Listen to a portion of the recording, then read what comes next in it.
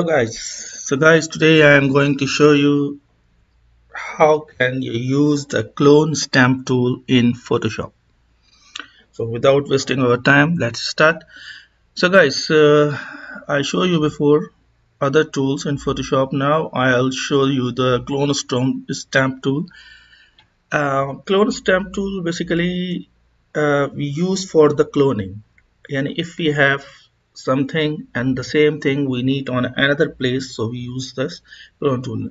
For example this uh, car is uh, moving and I want to make that same car on this area.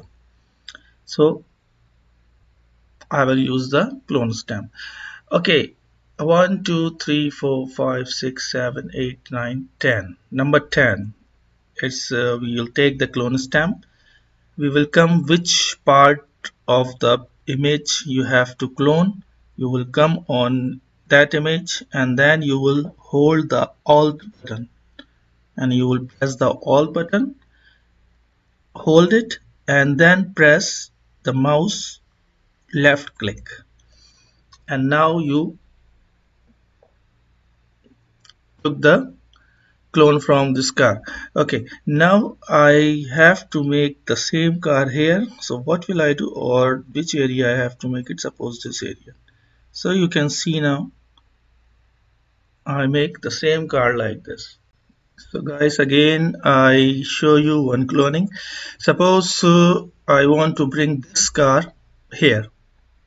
Okay so what will I do? I will go there again in clone stamp. I will go on this car. You see guys when you go somewhere and hold the alt button so the circle will change like the target. So you will target this car hold the alt button left click and then just drag which area you want to bring it. So now you can see I bring this car here also. Like this. Again. Uh, I want to show you some other part of the picture. So it will be good for you. Like guys uh, you see this grass. I want to clean this lines.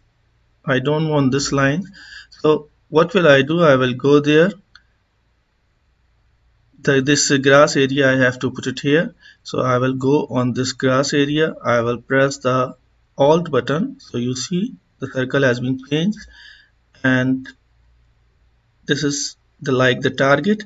Now I left click and I took this area from here. Now I will drag this on this area.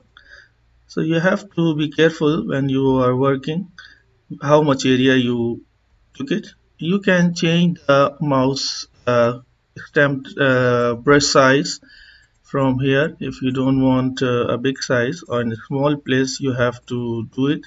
So just you can change the size. So see now the whole area has been covered.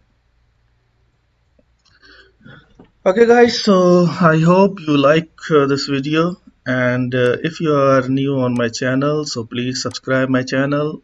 And if you have any question any comment any inquiry about uh, my videos or you want to give me the suggestion so give me on comments box.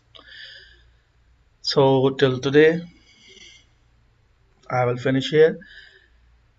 Take care. Bye